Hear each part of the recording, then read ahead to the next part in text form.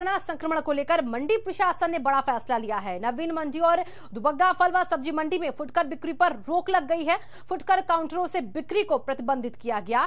मंडी में जुटने वाली भीड़ को भी कोरोना संक्रमण से बचाने को लेकर ये मंडी प्रशासन ने बड़ा फैसला लिया है।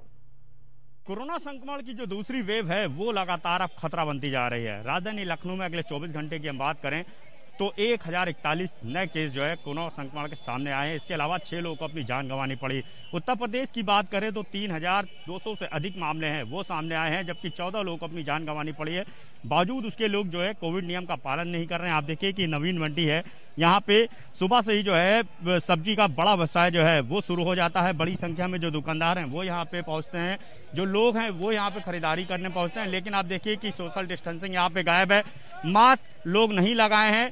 लोगों की भारी भीड़ जो है एक साथ जो है दिखाई दे रही है। अब आप समझ सकते हैं कि जब सोशल डिस्टेंसिंग आप नहीं करेंगे, मास्क नहीं लगाएँगे तो ज़ाहिर सी बात है कि ये जो है कोरोना संक्रमण को सीधे तौर पे दावत दे रहे हैं और ये सीधे अपने जब घर जाएँगे तो घर वालों के लिए भी खतरा बन रहे हैं। यानी अपनी ज़िंदगी के साथ जो है परिवार वालों के साथ भी ये खतरा बन रहे हैं। बावजूद उसके यहाँ पर जो मंडी प्रशासन है, वो दावे कर रहा है कि हमने फुटकर जो मंडी है, जो फुटकर, जो व्यवसाय है, उसको ठप कर दिया है, उसको बंद कर दिया है, ताकि लोगों की जो भीड़ जो है, वो ना लगे और लोगों को जो है कोरोना संक्रमण से बचाया जा सके।